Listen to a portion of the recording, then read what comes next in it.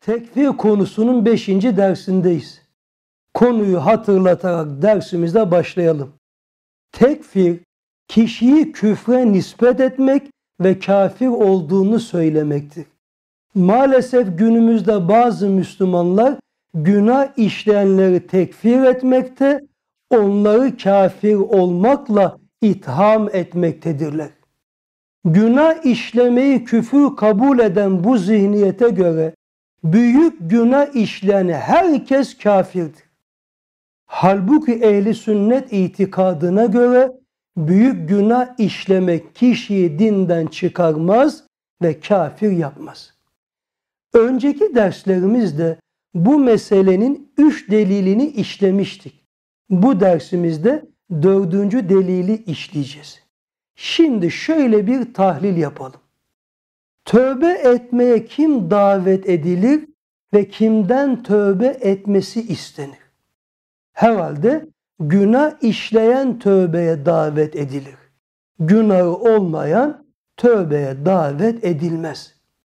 Eğer günah işlemek kişiyi kafir yapıyorsa Allah günah işleyenleri tövbeye davet ederken onlara kafirler diye seslenir.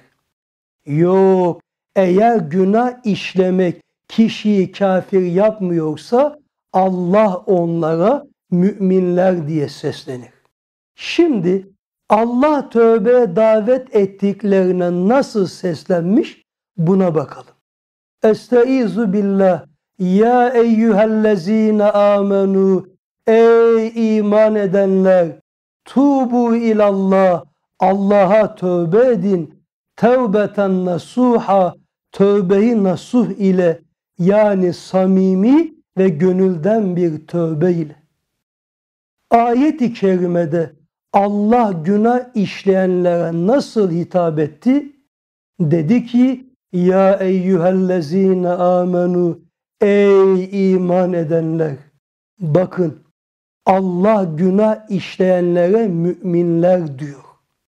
Eğer günah işlemek kişiyi kafir yapsaydı Allah onlara müminler diye hitap etmezdi. Madem hitap etmiş o halde büyük günah işleyen mümindir.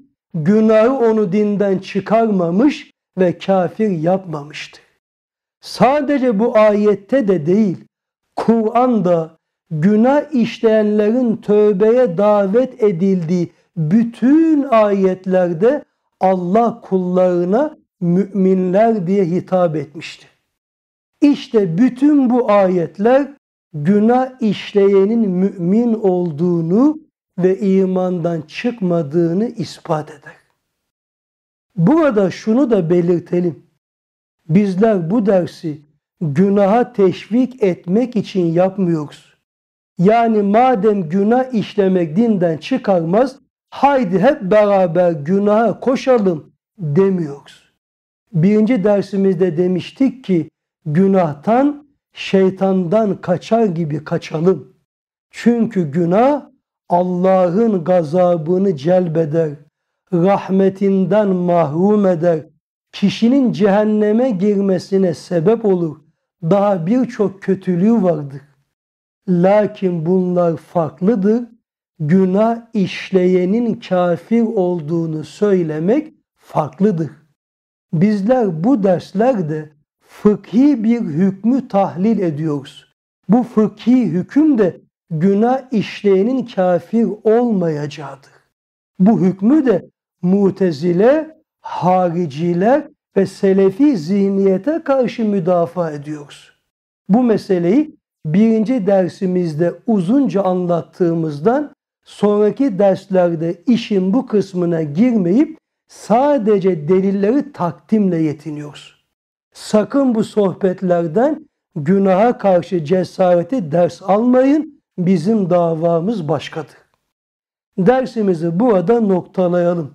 Bir sonraki dersimizde meselenin beşinci delilini işleyeceğiz.